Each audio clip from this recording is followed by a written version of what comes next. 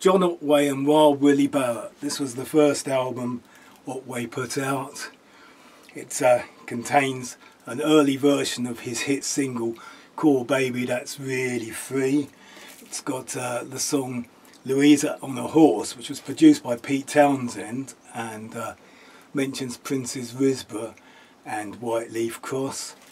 And it's got the classic Cheryl's Going Home, which is a high point of his live act and he famously played it on the whistle test and jumped up on his amplifier and fell off and uh, it was a, became a household name after that.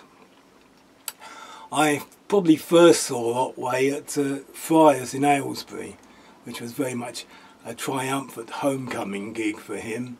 He was with Wild Willy Barrett, but uh, Wild, Will Wild Willy Barrett walked off uh, didn't do the encore, not Otway stood on the stage on his own, threw away his guitar because it was out of tune, and sang to love somebody, and the adoring crowd, just arms in the air, sang along with him.